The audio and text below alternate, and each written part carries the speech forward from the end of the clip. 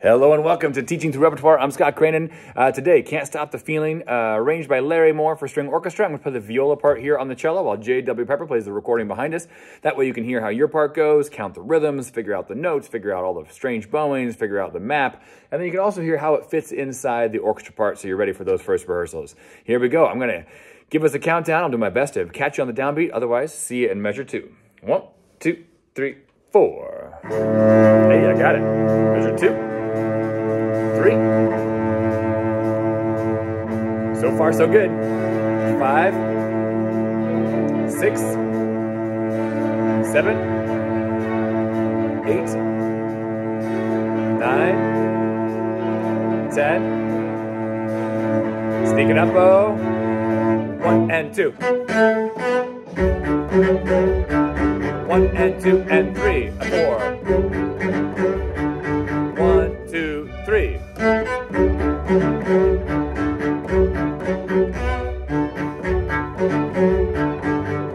Two.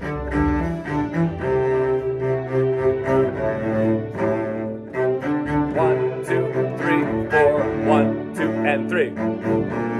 Two, three, and four, and one, two, three, four. One, two, three, four. One, three, one. One,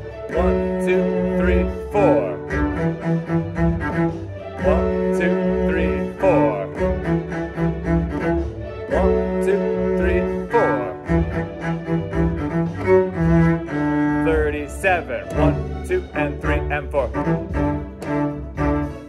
One, two, three, four. One, two, three, four. One, two, three, four.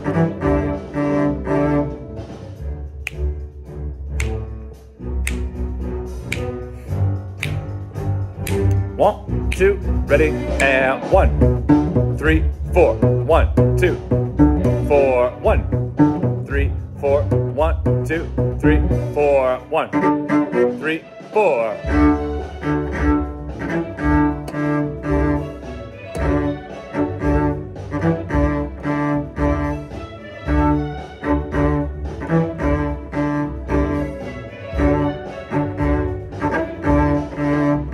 Coda. Hup.